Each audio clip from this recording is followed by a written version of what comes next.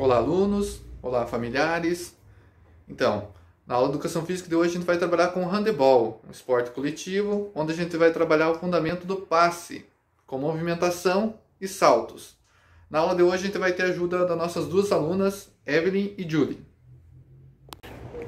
Materiais da aula de hoje. Então a gente vai precisar de uma bola e de alguns objetos para a gente pular por cima. Então eu estou utilizando o cone, mas vocês vão poder utilizar chinelo ou qualquer objeto para o aluno pular. Então, o aluno vai pular o cone e vai trocar passes com o familiar. Quem consegue pular, pula. Quem não consegue pular, passa uma perna, depois passa a outra. Foi, segurou, jogou pro professor. Agora pula. Aí, parou, Segurou a bola, jogou pro professor. Isso, pula. Parou. Segurou a bola, jogou pro professor. Isso, muito bem, pula. Vamos lá então, Evelyn. Segurou, jogou pro professor, pula.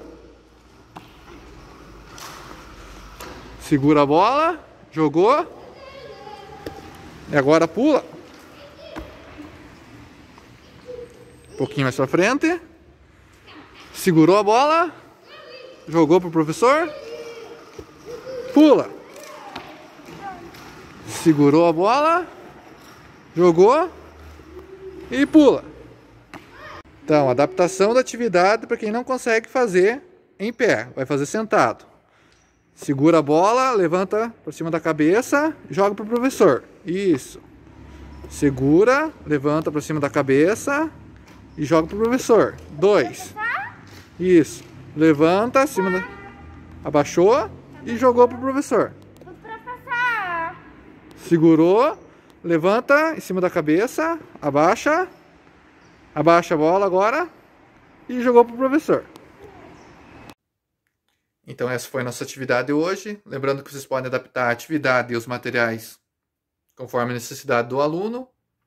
Estou aguardando retorno, pode ser através de fotos ou vídeos, e até a próxima aula.